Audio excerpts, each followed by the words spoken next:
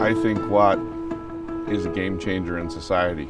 There are a lot of people out there who are building fuel cells, but there are not a lot of people out there building fuel cells with the technology that Watt has. The reason that we're interested in, in uh, using fuel cell technology is because we feel that there's this transitional period where fossil fuels are still going to be available and we want to get our people off the grid where there is no electrical hookup, where there is no ability to charge. We want to provide our people with the ability to use their units in places that no one else can. And because of that, people can camp longer, they can enjoy their, their free time and their leisure activities better. Fuel cell technology is the greenest type of uh, power generation that exists using fossil fuels. It, it is a, a, very efficient system. It, com it, combines with solar.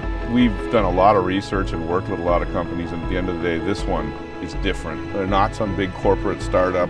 They're really technologically sound, and I really feel that uh, that they're just a bunch of good people, and we liked that right from the beginning. So we just kept working with them and patiently waited until they had product ready to sell. They are different than all the other fuel cell companies because of the way they build their cells. And they have, you know, patented that technology. And they're going to change the world with it.